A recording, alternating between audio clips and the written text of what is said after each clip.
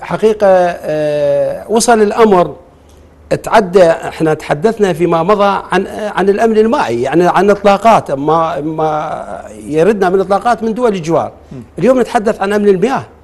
اليوم نتحدث ألقينا نظرة الوداع على الزراعة. يا رب. أي نعم نعم غادرنا الخطة الصيفية. والخزانات شبه فارغ فارغة. لم يبقى إلا الثرثار ولا نعرف ما بعد الثرثار الذي لا يصلح للاستهلاك بل لا يصلح للزراعة. يا إلهي. نعم. ومن الجزء الميت الذي تكلمنا عنه في وقت أتذكر.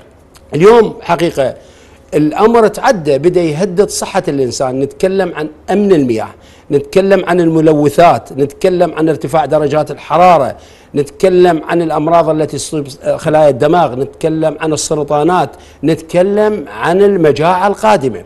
يعني مثال بسيط لاحظ حتى آه، سابقا يعني آه، تلاحظ دول أوروبا فيما مضى بعض الدول العالمية نضرب مثلا على العراق.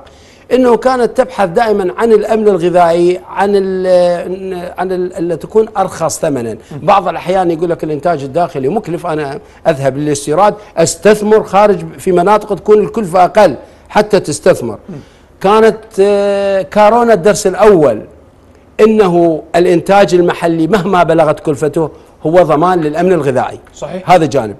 الصدمة الآن الهزة الكبيرة الحرب الروسية الأوكرانية وخاصة بعدما أوقفت روسيا الصادرات. اذا العالم مش متجه إلى مجاعة والحرب حرب الغذاء.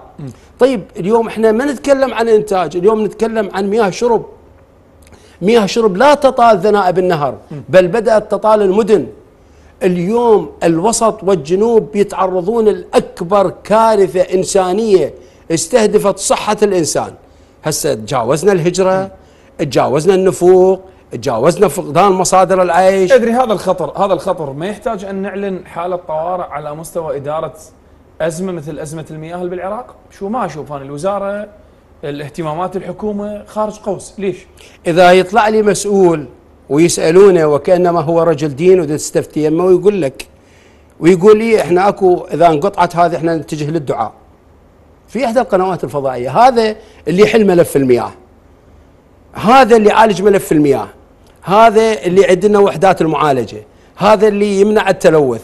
هذا يعني إحنا خلينا نكون واقعيين. إحنا فشلنا داخليا وخارجيا. إي إحنا أمام أزمة شنو حتى أروح للدكتور جاسم؟ أزمة شنو؟ طوارئ مثل ما تكلمت؟ أزمة طوارئ طوارئ نحن في طوارئ نعم.